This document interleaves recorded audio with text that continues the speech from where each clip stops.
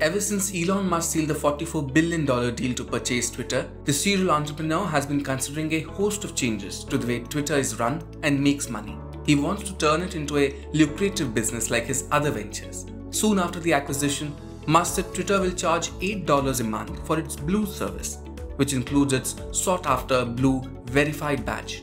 However, he added that the price will be adjusted by country proportionate to purchasing power parity.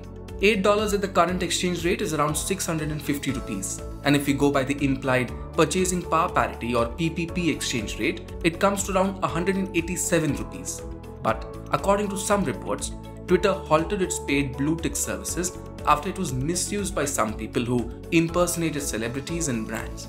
A blue checkmark next to a person's username on the social media platform means Twitter has confirmed that the account belongs to the person or company claiming it. These blue ticks offer credibility to the users, mitigating trolling, fake news, disinformation, and spam, while also becoming a social media status symbol.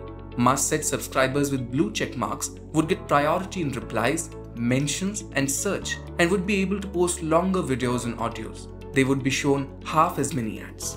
In Twitter's own words, the verified badge helps users discover high quality sources of information and trust that a legitimate source is authoring the account's tweets. Twitter had introduced the blue tick service after a host of complaints from celebrities and other influential people on impersonation somewhere in 2009. Since then, the process has evolved highly and has remained free.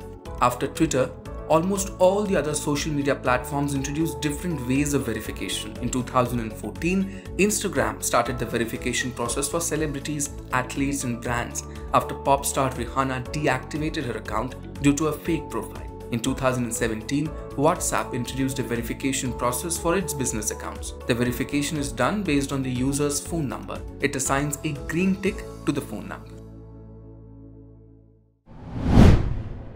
If you like this video, share it and subscribe to Business Standard.